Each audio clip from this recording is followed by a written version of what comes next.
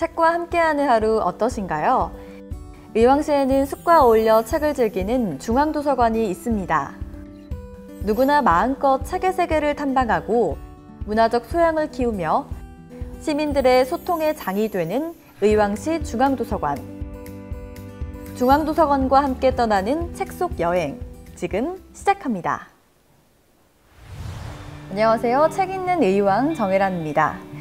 의왕시 중앙도서관 김중정 사서님 오늘 함께 자리해 주셨습니다. 안녕하세요. 네, 안녕하세요. 저는 의왕시 중앙도서관 김중정이라고 합니다. 네, 의왕 시민들께 추천해 드릴 책이 있다고요. 네, 제가 오늘 소개해 드릴 책은 트렌드 분석가 김용섭 선생님이 쓰신 Uncontact라는 책입니다.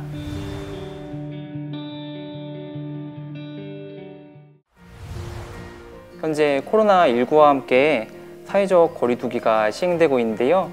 거리두기가 점점 더 우리 삶에서 아주 중요한 키워드로 자리 잡아 나오고 있습니다.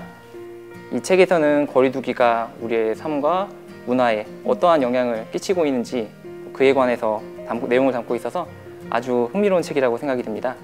네, 그렇다면 우리 사회적 거리두기가 일상 속으로 좀 다가온다 그런 뜻으로 의미하면 되겠죠. 네, 그렇죠.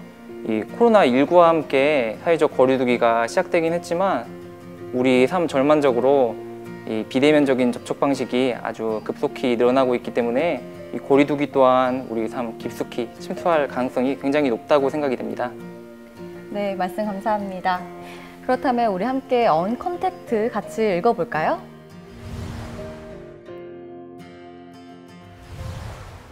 Uncontact는 비접촉, 비대면, 즉 사람과 직접적으로 연결되거나 접촉하지 않는다는 뜻이다. 사람에겐 사람과의 연결과 접촉이 무엇보다 중요한데 이를 부정하는 것이 바로 Uncontact다. Uncontact는 불안하고 편리한 시대에 우리가 가진 욕망이자 미래를 만드는 가장 중요한 메가 트렌드다.